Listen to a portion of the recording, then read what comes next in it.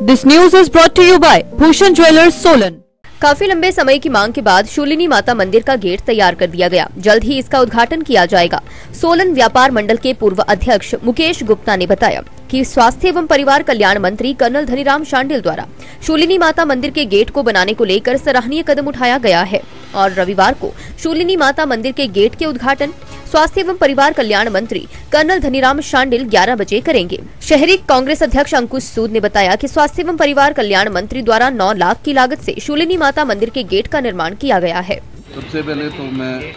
माँ शून्य का नमन करता हूँ। जय माँ शून्य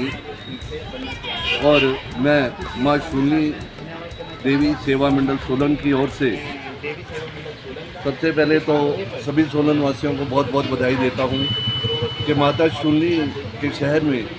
और हमारी माता शून्य के मंदिर से पहले एक भव्य गेट बनकर तैयार हो गया है। तो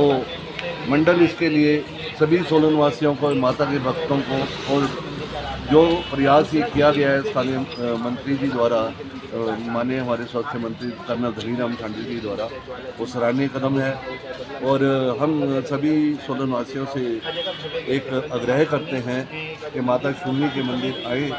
और इस गेट को भी देखें। और कल जो पता चला है, कल 11 बजे इसका जो है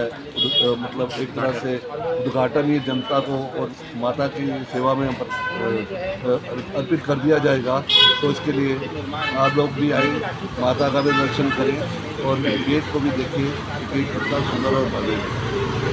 सबसे पहले मैं बधाई देना चाहूँगा पूरे हिमाचल वासियों को, क्षेत्रवासियों को सोलन वासियों को विशेषकर क्योंकि आज जो है, माँ माता का जो है, वो गेट बनकर जो है, तैयार हो गया है। और इसमें जो सबसे ज़्यादा बधाई के पात्र हैं, वो डॉक्टर कर्नल धनीराम पांडिल है, जिनकी धर्म के प्रति आस्था और लोगों की इच्छाओं को पूरा करने की जो उनकी शक्ति है और